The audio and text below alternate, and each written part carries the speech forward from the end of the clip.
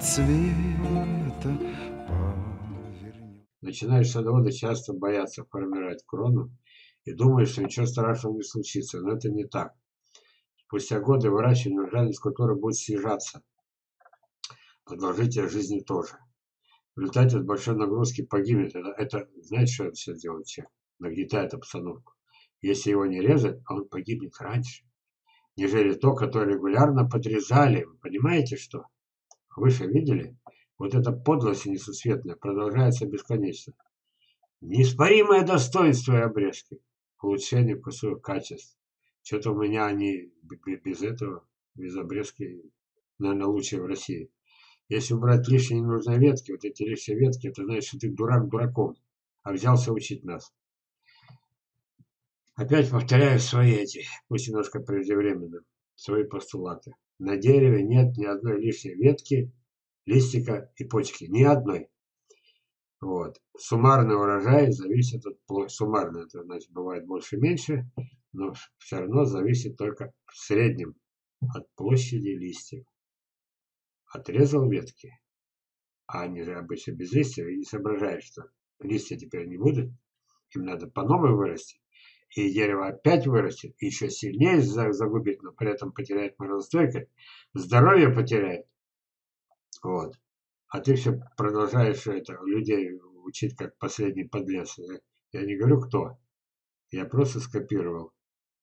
Продлить жизнь культуре, подрезание побегов. Это ну, то же самое. Ну, возьмите вот человека. Ну, вот на тебе бы вот поймать, вот, значит, спецназ пригласить. Ну, нет у меня такой власти.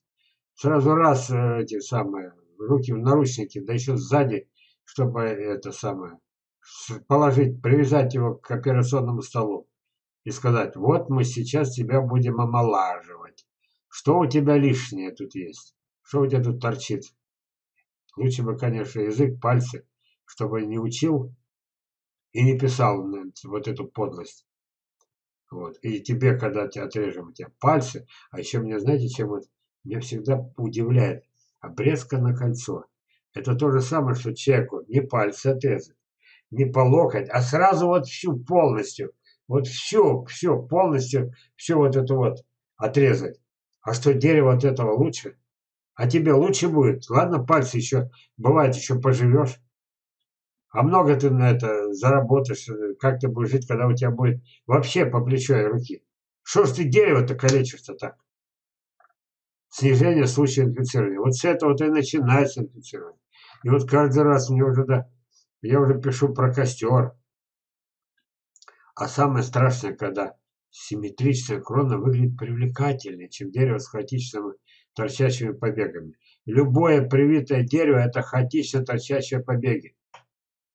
Боковая ветка, вот такая, вот такая, вот мы ее вот так вот взяли, почку, она потом вот это вырастет, а мы ее вот так вот сделали, она как была вот так, вот так, вот так.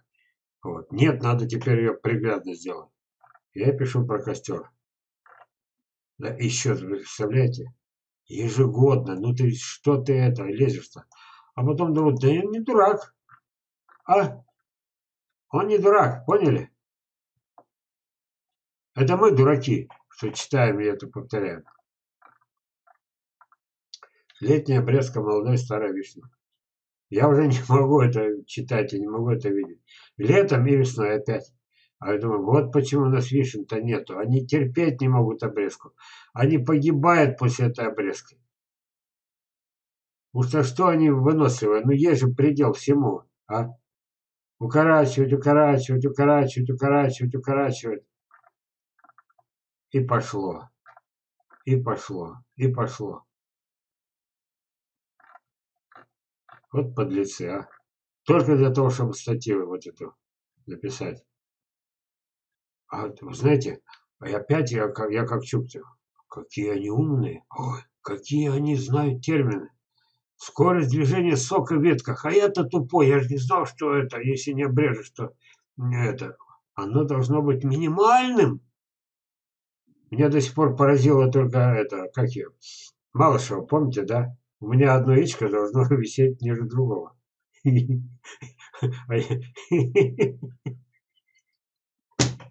Вот еще один такой же. Весь сок, содержащийся в побегах, уходит, если обрезать не в ту пору. Ага, если вообще не обрезать. Ой, не могу. А потом конец идиотизма, смотрите. Ясно, что в марте-апреле еще, если необходимость, допустим, пересадка саженца нужна обрезка, да? Старому дереву нужна омолаживающая обрезка. Бывает санитарная обрезка. Вот, ну, март-апрель, ладно. Ну, какого хера в июне, в июле-то? А? а почему 20 июля можно, а 21 нельзя? А? Когда тебе морду надо бить за то, что вообще вот за июнь, за июль и даже за май. Я морду надо бить за это. И человек возьмет в июле и пойдет 20 июля резать, убивать дерево.